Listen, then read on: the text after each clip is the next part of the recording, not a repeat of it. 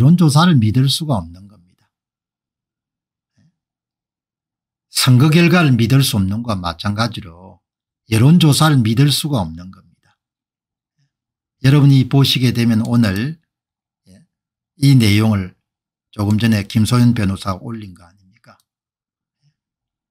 그래서 제가 어제 이런 내용을 발표했지 않습니까 여론조사가 진짜 왜 이러냐 유승민 지지도가 TK 지역에서 당대표 적합도 1등이 나오는 건데 난 도저히 믿을 수가 없다. 예.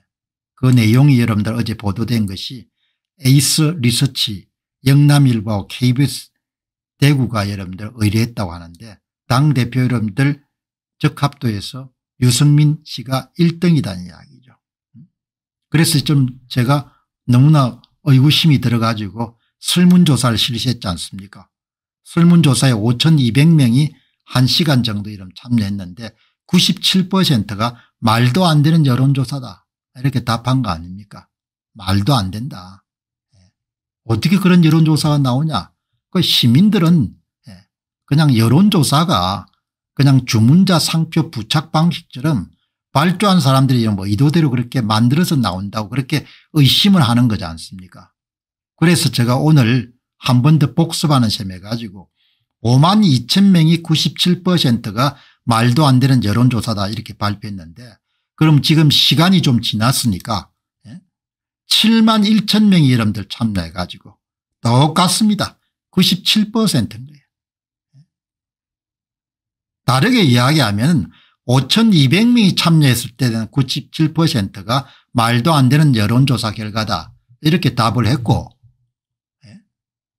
여러분들 시간이 좀 지나가지고 7만 1천 명이 자발적으로 설문조사에 참여했다는 것은 여론조사 기관들은 도저히 실시할 수 없을 정도의 많은 표본수입니다.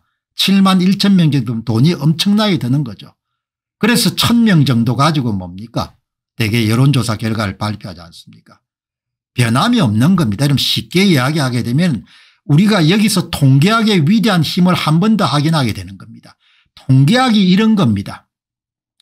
표본수가 커지게 되면은 예, 표본수가 커지게 되면 통계적 특성은 변함이 없는 겁니다. 4.15 총선과 3구 대통령 선거와 6.1 지방선거에서 뭡니까 끊임없이 의심과 의혹을 제기하는 것은 이런 통계적 이런 법칙을 완전히 거부했기 때문에 나온 겁니다. 표본수가 큰 데서 특정 지역의 투표자들이 사전투표와 당일투표에서 현저하게 뭡니까 특정 후보의 지지도가 다른 겁니다.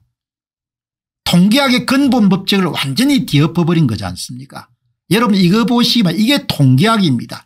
이게 통계학의 위대한 힘입니다.